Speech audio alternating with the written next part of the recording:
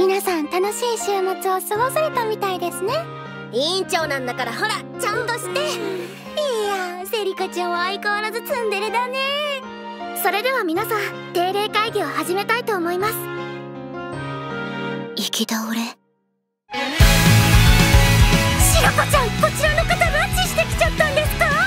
ついに犯罪に手を染めて問題が発覚する前になんとかもみ消さないと。ああお待ちしてましたろしく。え